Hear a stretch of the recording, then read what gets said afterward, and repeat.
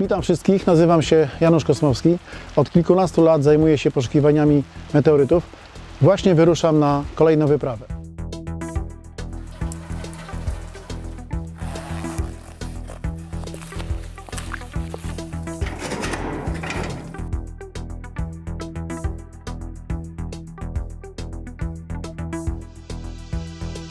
Kiedy wyruszam na poszukiwania, nie zwracam uwagi zbytnio na pogodę. Jadę po prostu kiedy mogę pojechać. Oczywiście sprawdzam, jaka jest pogoda, żeby się odpowiednio do tego przygotować, jeśli chodzi o ubrania, jedzenie i tak dalej. Natomiast e, jadę po prostu wtedy, kiedy mogę pojechać.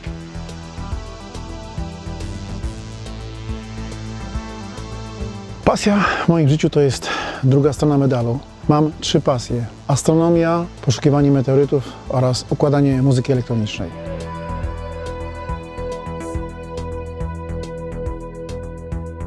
Każdej z moich pasji miałem małe sukcesy, ale największym sukcesem dla mnie było znalezienie meteorytu.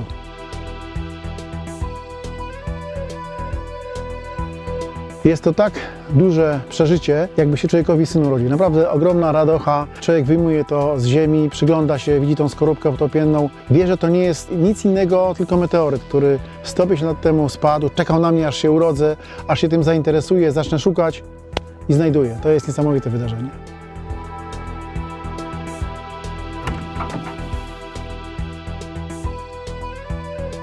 Swój pierwszy meteoryt znalazłem dopiero po trzech latach poszukiwań, z tym, że przez półtora roku szukałem wykrywaczem meteorytów półtuskich, które w ogóle nie reagują na te me- meteoryty, o czym nie wiedziałem. Dopiero dzięki uprzejmości kolegów, którzy pomogli mi, dali mi meteoryt, mogłem sprawdzić ten wykrywacz, potem mogłem pójść do sklepu, zakupić kolejny wykrywacz, którym e, mogłem e, rzeczywiście go identyfikować i szukać.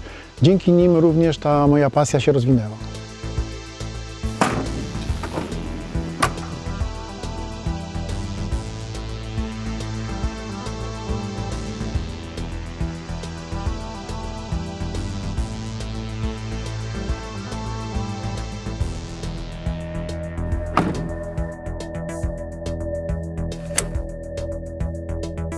Najlepsza pogoda do poszukiwań meteorytów to taka pogoda, gdzie jest lekko zachmurzone niebo, lekko wieje wiatr i temperatura jest w granicach 15 stopni.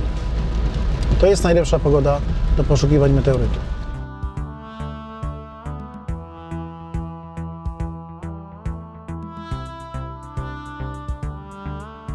Dzisiaj jadę północną elipsę spadku meteorytu półtuskiego w okolicy Starego Sielca.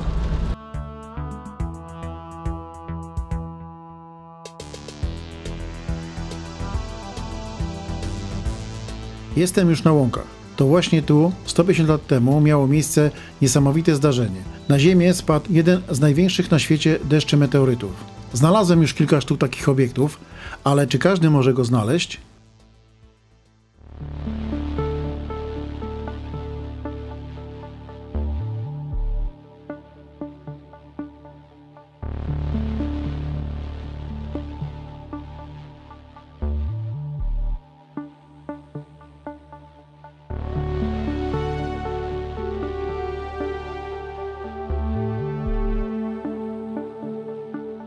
Kosmos fascynuje mnie od dawna. W dzieciństwie lubiłem patrzeć w nocne niebo, szukać gwiazdozbiorów, obserwować przelatujące satelity i meteory. Nie przypuszczałem wówczas, że stanę się łowcą spadających gwiazd.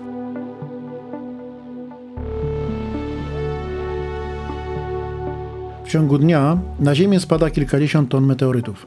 Większość do oceanów, ale część spada na Ziemię.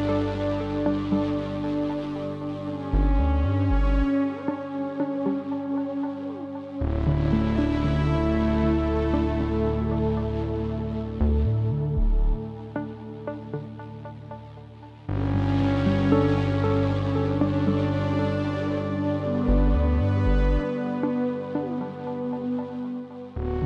Radość, którą mam w sercu, znajdując takie meteoryty, powoduje to, że pragnę się podzielić tą radością z innymi. E, Wiem, jaka trudna droga była, jakie schody miałem, żeby dojść do tego poziomu, którym jestem obecnie. E, No i chciałbym się taką wiedzą podzielić z innymi. Może inni też spróbują szczęścia. Jest to niesamowita pasja, niesamowita mm, sprawa. Natomiast no bardzo, są to bardzo żmudne, trudne i długie poszukiwania. Trzeba się nastawić na to, że można chodzić przez wiele lat, nie znaleźć tego meteorytu. chodzić e, przez wiele dni, nie wykopując ani jednego dołka, nie mając dobrego, konkretnego sygnału, ale kiedy się już go znajdzie, to, ten, e, to ta radość wystarcza na, na wiele, wiele miesięcy, a może nawet lat i szuka się ponownie tego samego obiektu.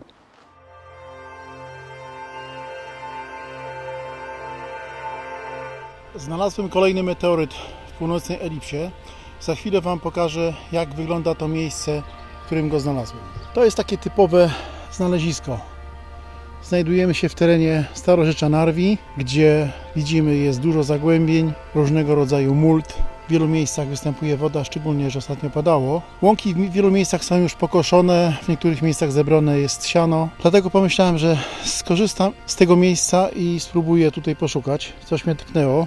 No i miałem szczęście, miałem farta, udało mi się w takim właśnie miejscu, dosłownie kilka metrów od drogi, którą jeżdżą rolnicy na pola, znaleźć kolejny meteoryt. No nieduży, waga około 150 gram, no ale jest to duża radość, tym bardziej, że teren jest mocno przeszukany, a mimo to no, meteoryt mniej więcej wielkości około 150 gram. Był na tradycyjnej głębokości około 8-10 cm e, w glebie.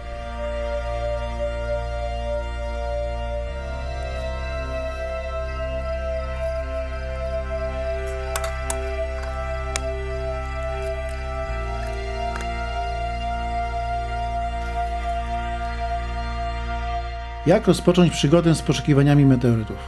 Gdzie i jak szukać? Jakim sprzętem tego dokonać? O tym chciałbym Wam opowiadać w nowej serii pod tytułem Łowca spadających gwiazd.